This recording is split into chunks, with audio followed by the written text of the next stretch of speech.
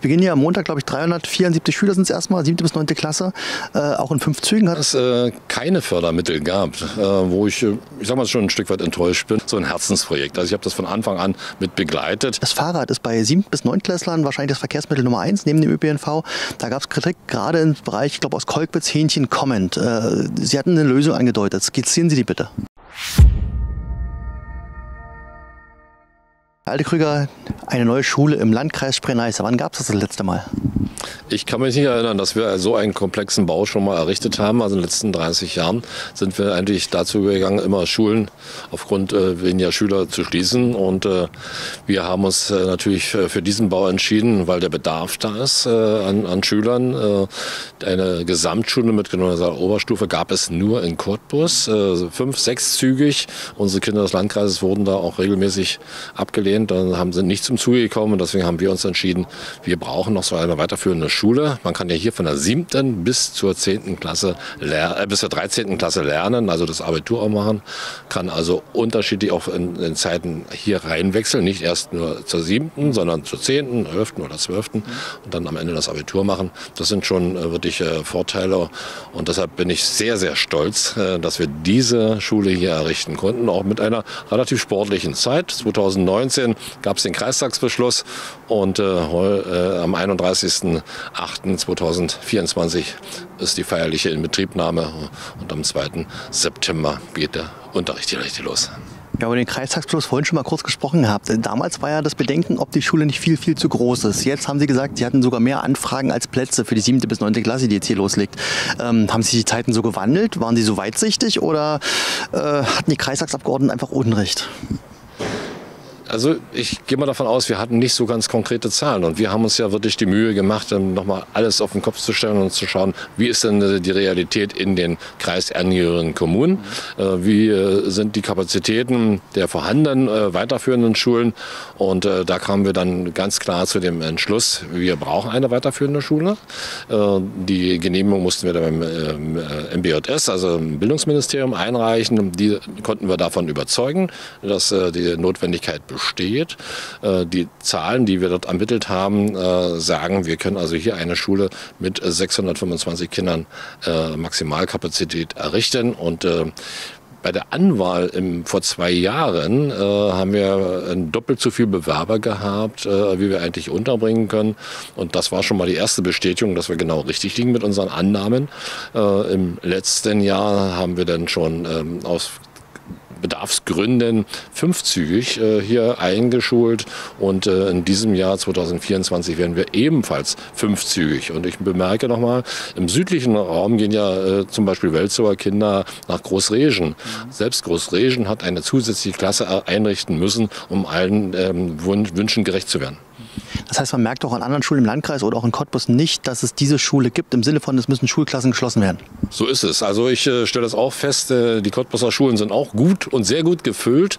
Und äh, äh die Cottbuser haben eher das Thema, äh, sie müssen sich Gedanken machen, wie sie schnellstmöglich zu Schulneubauten kommen. Und wenn ich äh, mal den Blick in die Zukunft werfe, Cottbus hat ein neues Bahnwerk bekommen, Cottbus bekommt eine Universitätsmedizin und Science Park. Hier werden wir einen Aufwuchs an Menschen haben, äh, Zuzug haben und die, die Kinder äh, der Eltern müssen natürlich irgendwo beschult werden. Das wird nicht nur in Cottbus äh, ein Thema sein, sondern bei uns im Landkreis auch. Äh, wir werden also von diesem Zuzug werden wir auch im Landkreis äh, stark profitieren. Jetzt beginnen ja am Montag, glaube ich, 374 Schüler sind es erstmal, siebte bis neunte Klasse. Äh, auch in fünf Zügen hatten es schon gesagt, außer neunte Klasse, glaube ich, vierzügig. Ähm, was erwartet die Schüler hier? Also was, was ist besonders an, dem, an diesem Neubau? Was ist, was ist besonders schön? Was ist besonders innovativ vielleicht? Äh, ja, erzählen Sie uns was über das Gebäude. Ja, grundsätzlich ist es mal eine neue Schule, die jetzt gerade in Betrieb genommen wird. Sie ist auch, ich denke mal, innovativ, sie ist barrierefrei in allen Bereichen. Ähm, wir haben hier die Wärmeversorgung, machen mit Wärmepumpen, ergänzen sind durch äh, Gasheizung.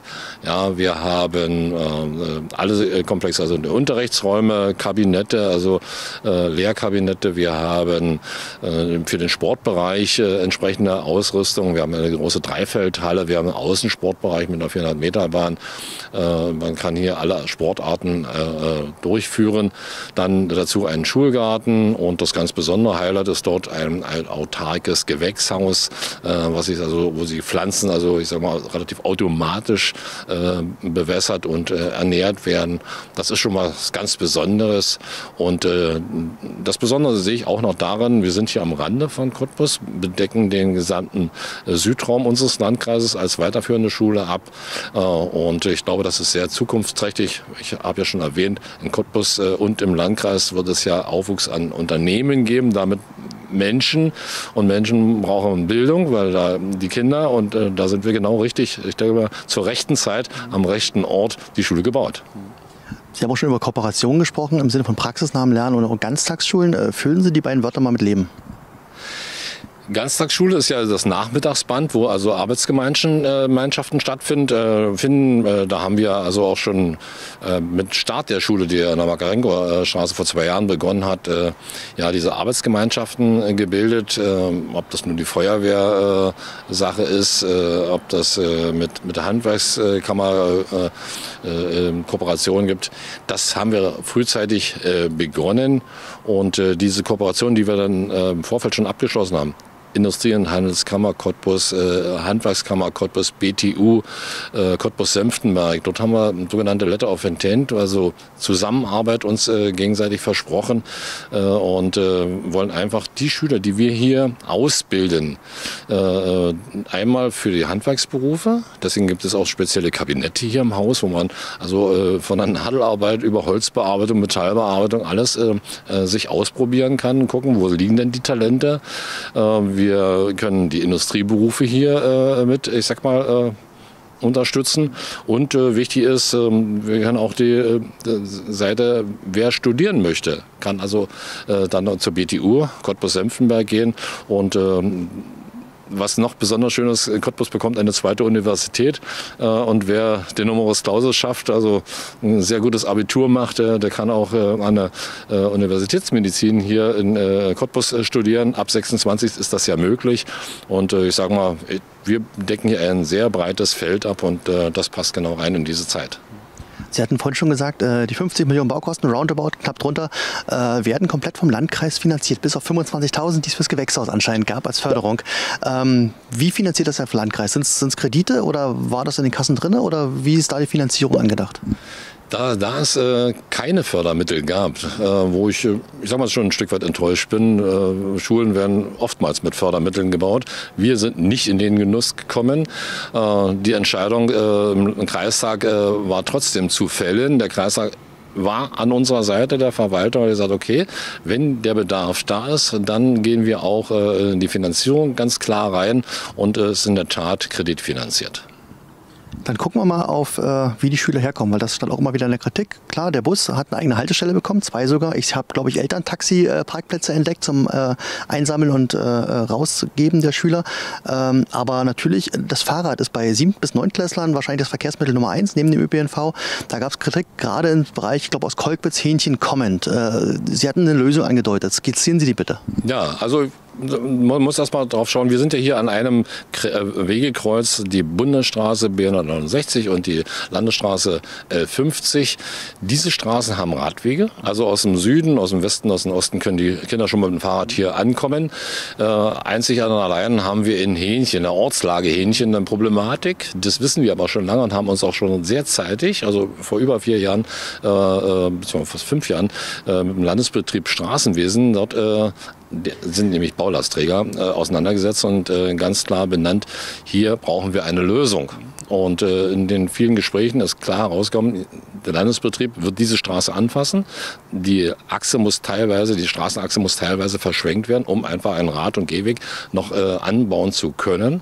Und als Interimslösung, weil Straßenbauprojekte ja bekanntlich etwas länger dauern, wir reden da manchmal von 10, 15 Jahren, äh, wollen wir das aber hier in etwas wesentlich kürzerer Zeit äh, erledigt haben. Also wir reden so von 2026 soll das dann umgesetzt werden.